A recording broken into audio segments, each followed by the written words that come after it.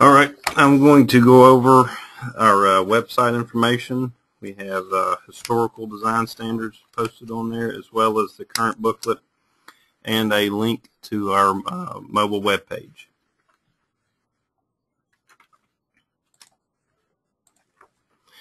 Here is our standard uh, website. I'm sure most of you guys are familiar with this. Uh, at the top there is our current uh, design standards booklet. And below here's all of our historical design standards, all of which are, uh, you can download the PDFs, they're word searchable as well as you can download individual indexes. You don't have to download the entire book.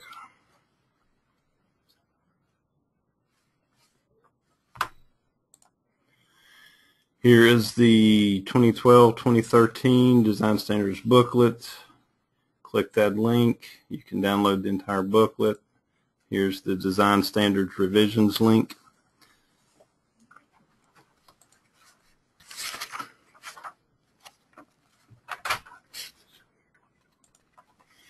Here are our uh, historical design standards booklets. The S is the booklet itself. The I hyperlinks is the design interim standards. And the last column, design standard modifications, that has that is sorted by the date, um, and that is the effective date.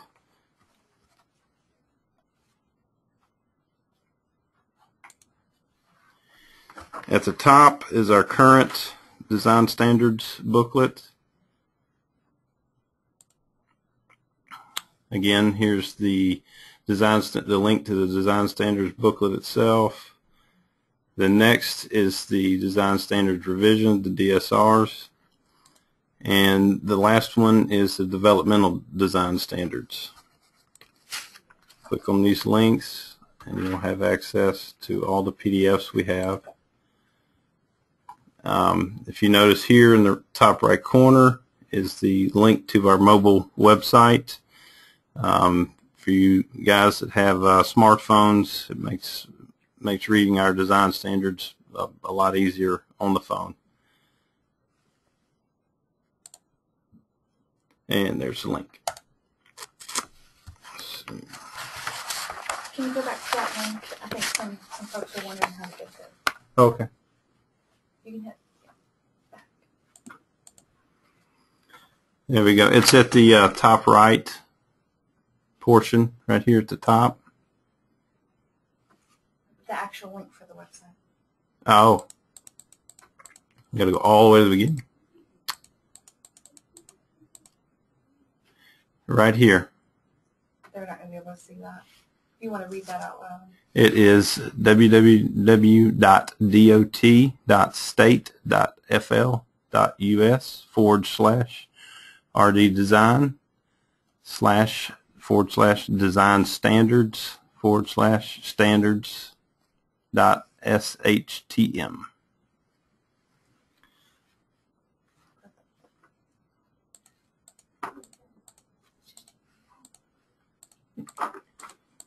We'll go back. I'm also going over our design indexes that have changed. Here's our first one, index 001. We've added these three uh, abbreviations. And we'll go on to uh, index 2, 201, sheet 2. If you look at the top left corner, a note was added to the leader note regarding the eye bolt and chain.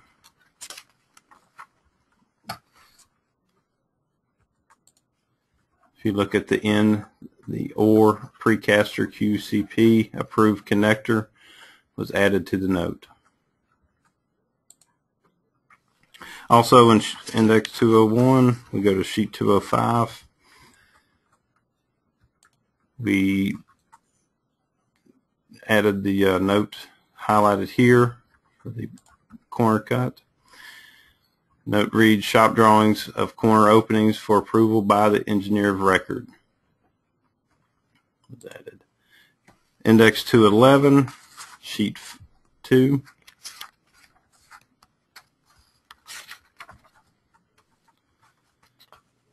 You'll see the highlighted details that have changed. There you go. And it is the vertical legs.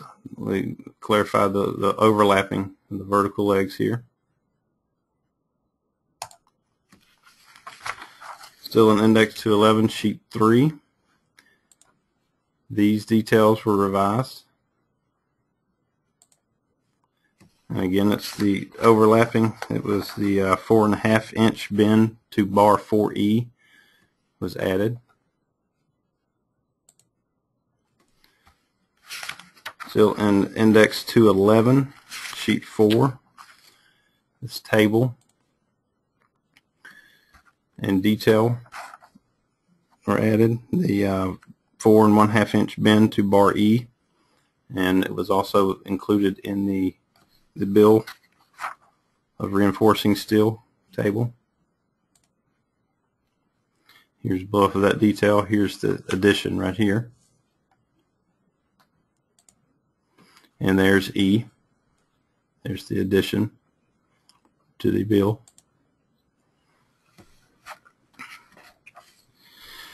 Still on uh, sheet four, we have the overlapping here. This detail has been revised to show the overlapping.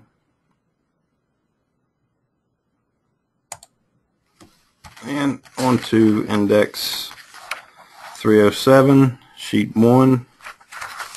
We actually deleted uh, note 10.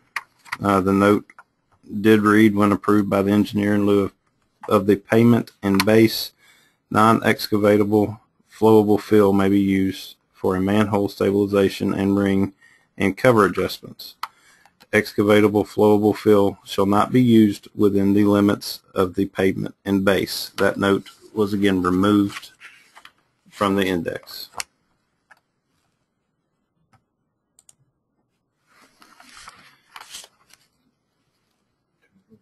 And now we are going over index 400 and turning it over to uh, John Mautner.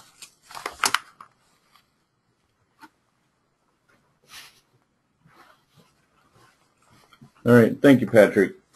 Um, while uh, while Patrick was giving his portion of the presentation, we had a question uh, that came up, uh, and it's: Are the design standards revisions to be included, even if they're not applicable to the project? The way it worked for the fiscal year 2012-2013 design standards was that if it was applicable to your project, you would note the date of the design standards revision. No sheets were included. The fiscal year design standards are valid from July 1st of 2012 through December 31st of 2012. Beginning January 1st of 2013, with the 2013 design standards, that process has changed.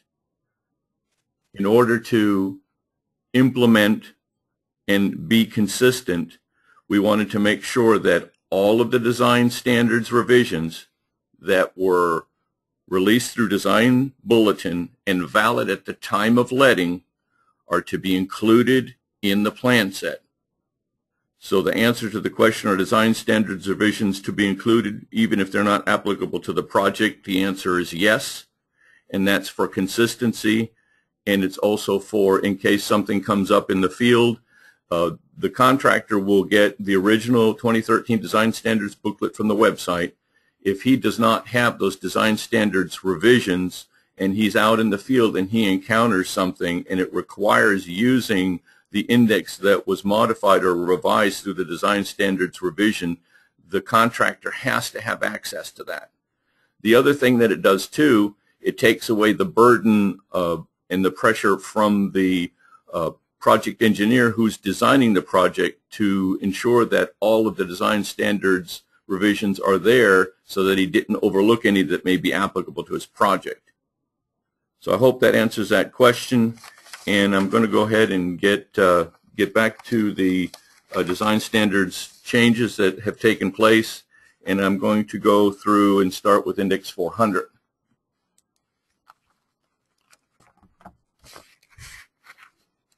Uh, index 400, sheet 13.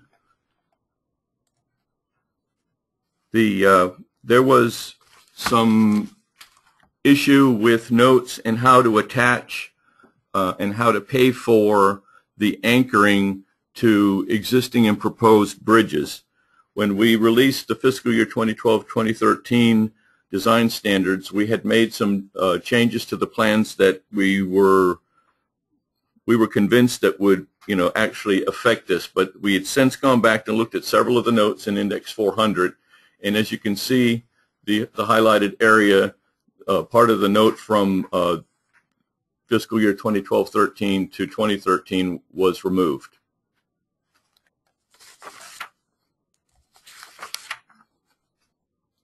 On index 400, sheet 17, uh, we revised we revised note 1 to better clarify the criteria associated with implementing the pedestrian safety treatments. We also deleted cost information, which was note 3, and then we changed pedestrian ways to sidewalks and changed bikeways to shared use paths. This, uh, these changes of changing the pedestrian ways and, and bikeways to shared use path, uh, that was to be able to be consistent with some verbiage that was uh, actually changed and due to a spec revision that was hosted by uh, Rich Hewitt.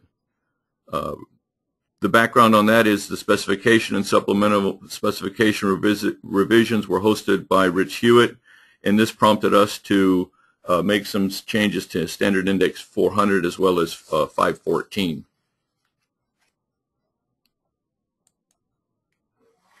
If you look at the notes, the notes now read, uh, Note 1, pipe rail is required on steel guardrail posts when the front of sidewalks or shared use paths are located 4 foot or less from behind the back of the post. This is the definition portion that changed, and there was some ambiguity as to actually what constituted uh, the actual distance and where was it, and what actually happened was uh, contractors were requesting the, excuse me, the CEI was requesting the contractors to put pipe rail in when maybe the tolerance that they measured it was 3 foot 10 or 3 foot 11 and they were making the contractor go back and install the pipe rail. The pipe rail should always be a part of the component plan set and should be shown in that plan set and that kind of takes care of the issue as far as when it's supposed to be used. But as far as the definition for the for the pipe rail, uh, that was clarified in Note 1. Uh, under Note 2, Note 2 pretty much stayed the same. It was Note 3, which was renumbered to Note 2, and then uh, Note 3 was re renumbered to Note 2. Uh, we revised the renumbered note for clarity, and we deleted dimensions based on proprietary products. So that's coming up next. This is a sample of uh, what the section detail looks like now, and it actually better clarifies what that four-foot distance is and where it's to be measured. So as you can see, it's measured from the back of the post to the front of the sidewalk uh, or the shared use path.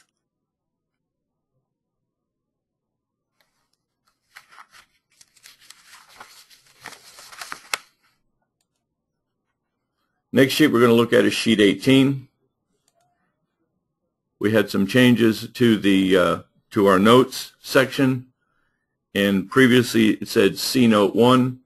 On this sheet we wanted to, to direct them to the actual details, we told them to see the pedestrian safety treatments.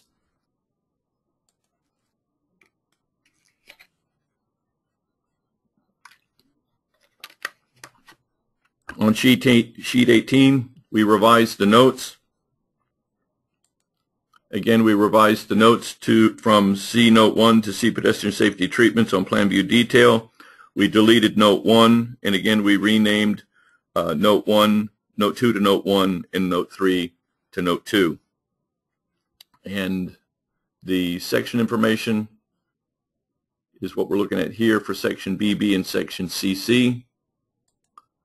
There was some standard verbiage that was relative to uh, proprietary products that was included in this dimension, in this dimension for both of uh, section BB and CC, and those were revised to actually just put in the, the varied uh, minimum dimensions for the melt.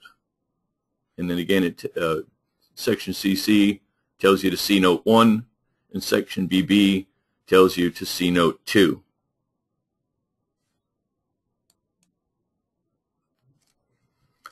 Next sheet we're going to look at is uh, Index 400, Sheet 22. Uh, in this case, we're looking at the uh, detail of the post set in concrete. And down at the bottom, we revised the note. Before it was, it, we revised the Class 1 note concrete label, and it now reads Class NS uh, concrete on this section detail. And the Class NS is non-structural concrete.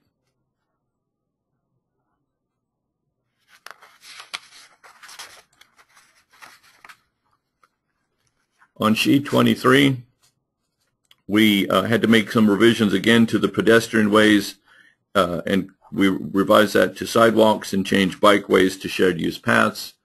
Uh, the verbiage came in this detail here. And if you look now, it says flared end section, rounded end section when located adjacent to sidewalks or shared use paths. So we pretty much looked everywhere where we had to change the verbiage to be consistent.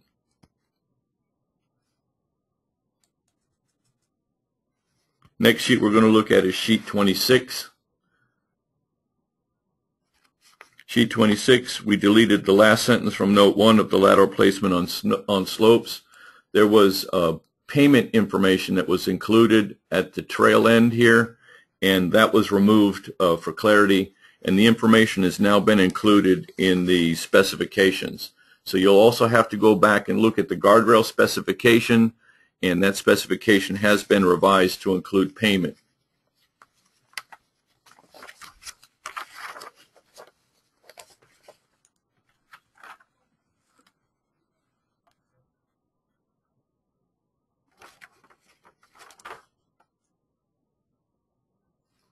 Okay, we have a couple more questions here that just came in. I'm going to try to see if I can answer these. Uh, question one is why are the revisions made on a sheet not stated in the description box down at the bottom of the sheet? I'm not quite sure I understand that question.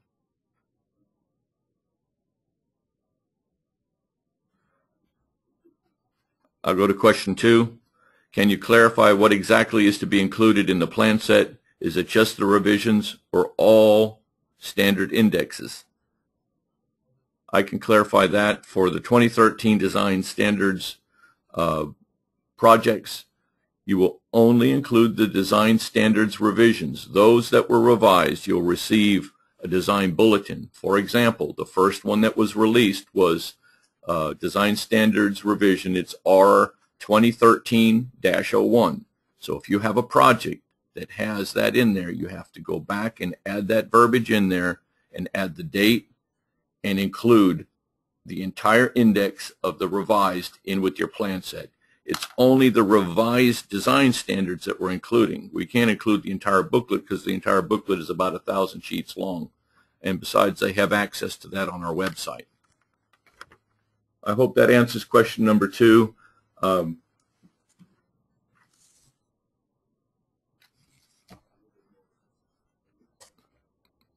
okay, is this for number one? Okay, I, I believe the answer to number one, let me go ahead and restate the question for number one. Looks like we've got a little clarity.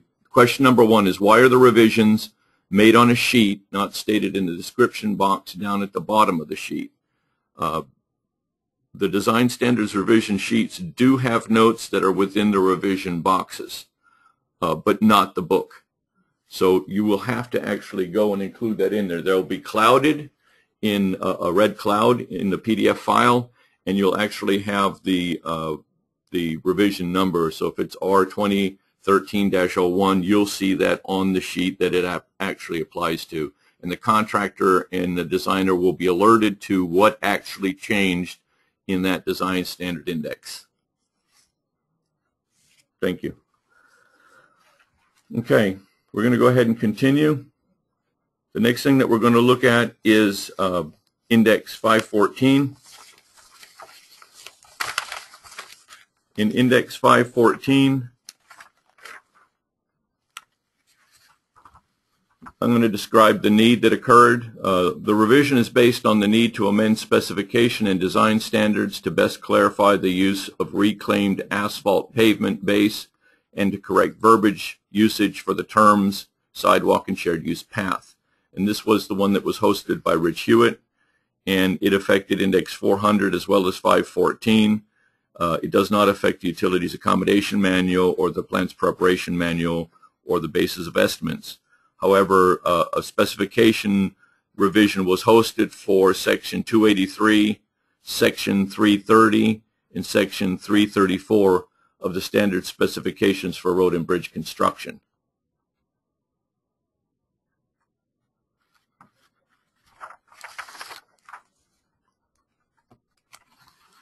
In Section 283, uh, the word bike path was changed to shared use.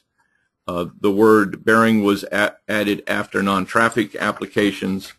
And then in section 330-9.4.5.2, the word bicycle was deleted. And then in section 334-5.1.2, the word bike was deleted as well from the specification. Uh, You can go to our specifications website and they'll have all of that information available for you. Let's go ahead and look at the general notes. On the general notes, on new construction and reconstruction projects, when an entirely new base is to be built, the design engineer may specify the base group in any unrestricted general use optional base shown in that base group. Note, however, that some thick granular bases are limited to widening, which prevents their general use. Uh, there was no change to note 2, and then the change to note 3 now reads, the designer may require the use of a single base option, for instance type B 12.5, in a high water condition. Uh, this single base option will be bid and used as optional base. The, uh, the next set of notes pertain to the uh, base thickness and option codes chart. In the chart, uh, we had to go back and make sure that everything was consistent with the revisions that we were making in the specifications. And uh, the two that changed was the asterisk and the box. Under the asterisk, uh, for granular subbase, the construction of both the subbase and type B 12.5 will be bid and used as optional base. Granular subbases include lime rock, cemented coquina, shell rock, bank run shell, and graded aggregate base at a lime rock bearing ratio of 100.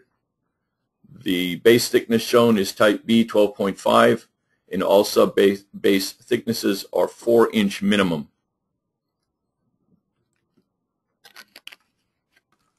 The changes to the little box note uh, now reads for restrictions on the use of RAP base, see specification section 283. And if you go back to section specification section 283, you'll find the verbiage that's changed and now uh, is more consistent with uh, how the RAP base is used.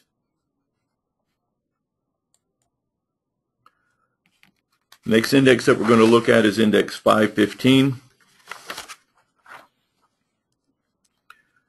Uh, for Index 515, the need arose and the revision is based on multiple requests for information calls uh, which pertain to where and to what point radial returns must tie. Uh, over the last 18 months, several calls came in and we received in the Criterion Standards Office with a request uh, to better clarify uh, page one uh, of Index 515. This is the detail we're looking at. and we added these points throughout the entire design and now you can see here on the right side those are return radius points or flare points.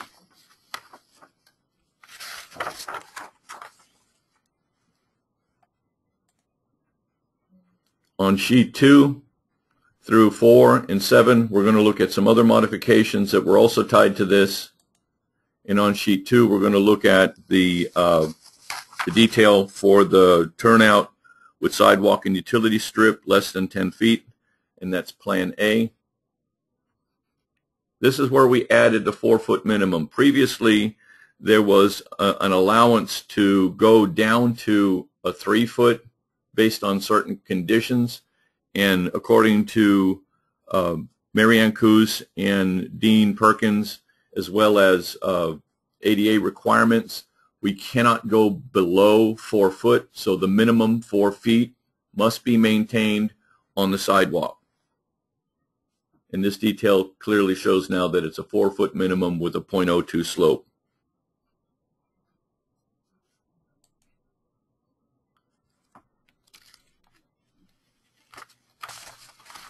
On sheet three, we went back and looked at all of the details.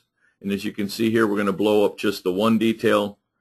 And again, we changed everything to four foot minimum and removed the, uh, the reference to three foot.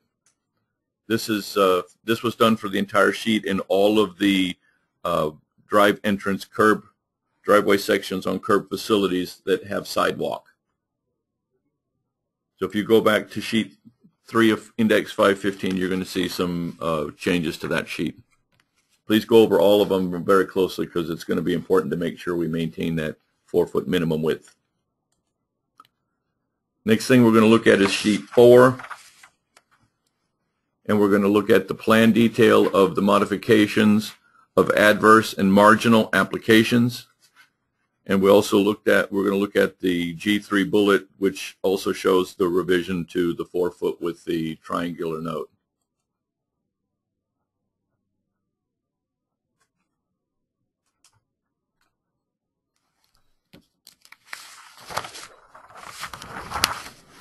If you look at this plan, Everything's been modified. The four foot minimum is now in this detail. And you also have the driveway width uh, to note to see sheet one. And again here in the actual detail for G3 and all the other details, the four foot minimum was changed and the, uh, the delta mark was removed.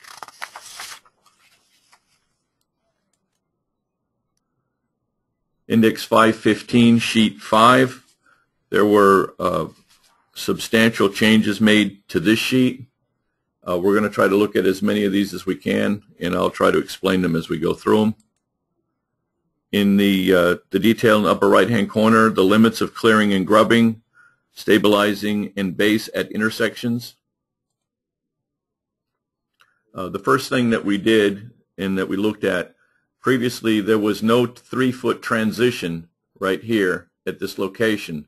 And what was happening is the driveways that had slopes that would drain to the department facilities or the side streets that would drain here, they would have uh, drainage erosion issues right here at the back of the curb. So what we did was we added the three-foot transition, which transitions from flat up to the, the, the curb, the type of curb. Again, we added the points in here so you can see where they actually go to and come from.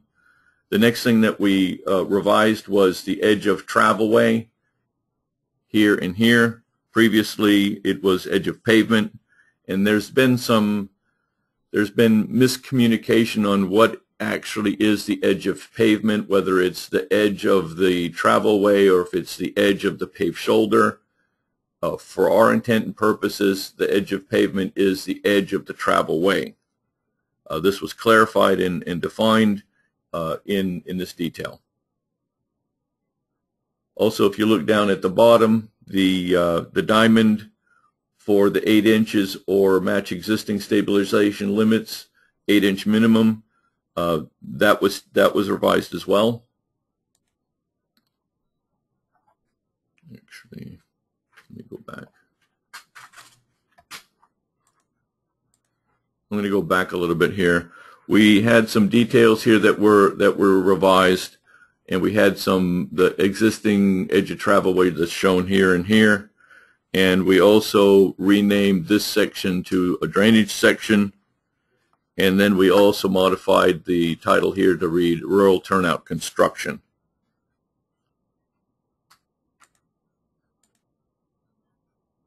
Index 515, sheet 7.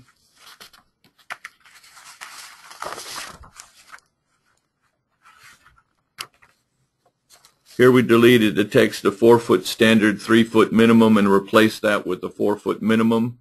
We also changed the roadway pavement to uh, travelway. These are the details that we're looking at. It now reads four-foot minimum, and you also show the travelway to the edge of the uh, travelway.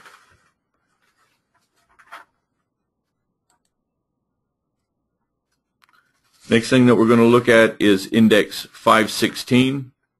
In index 516, we uh, the edge of pavement to the edge of travelway for consistency. If you look at this detail, you can see now it reads edge of travelway and edge of travelway left and right.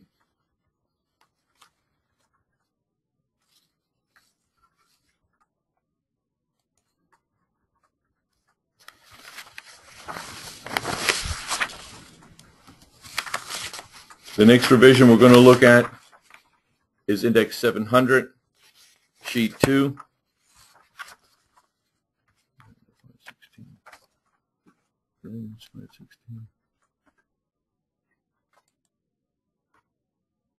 Okay. On index 700, uh, the need arose to revise based on ADA of unobstructed sidewalk widths of four foot minimum. Uh, this, again, was Marianne Coos reviewed the design standard index for compliance to the ADA requirements for unobstructed sidewalk widths of at least four-foot minimum. Uh, to provide adequate resolve, uh, we hosted a revision to Design Standard Index 515, which also prompted this revision to Index 700. And if you go to the general notes, the general notes have been revised on sheet two. And it was note one that was revised and the words uh, shielding an object were added. So note one now reads, when shielding an object and sidewalks are present, an unobstructed sidewalk width of at least four feet must be provided. Note two did not change. Last one that I'm going to look at, this is an ITS index, index 18204 sheet 1. Uh, the index was deleted and it was replaced by index 17700, which is the pull, splice, and junction box index. For the roadway portion, that completes uh, what we're going to discuss today. Uh, we have one more question on index 515. Can we still use a three-foot minimum for sidewalk landing when conditions are restricted because of right-of-way? Um, I, I don't believe that's the case. Uh, I can't really answer that directly. I'm going to have to go back and do some more research on that question. And what we'll do is we're going to go back and, and restate all the questions and provide the answers to uh, the questions from the audience. Uh, I would have to defer that one to Marianne Coos, who's not available with us right now. So as far as that question, Index 515, can we still use a three-foot minimum for sidewalk landing uh, when conditions are restricted because of right-of-way? I'm going to defer that to Marianne, and we will provide an answer uh, on the website following the training. Okay, Rebecca Hatton, this, this is our design standards team, our contact information. Rebecca Hatton is our design standards specialist. She can be reached at 850-414-4824. You see her email listed below. Uh, Patrick Overton, his number is 850-414-4348. He's our new design standards engineer. And my contact information is 850-414-4334. I'm the design standards manager and below is my email. At this point, I believe we've got, okay, we have another question that just came in. How do you submit revisions electronically? And I'm going to have to assume that they're talking about the design standards revisions. If that's the case, the design standards revision sheets are just going to be included behind the sheets of the plan set. When the project engineer runs EDI and runs PEDS, they are only going to sign and seal the project plan sheets. They're not going to sign and seal the design standards revisions. Those sheets are included for the contractor and the CEI to help better uh, expedite construction in the field. So as far as uh, how do you submit the revisions electronically, that process hasn't changed. That's the, the standard uh, EDI and PEDS process. You just do not sign and seal the indexes. You only sign and seal those sheets that apply to your project. Okay, at that point, I think we've answered all the questions that we can for today, and uh, I appreciate everybody attending, and thank you very much, and I look forward to our next Design Standards uh, booklet for 2014, and I'm going to turn this back over to Jackie.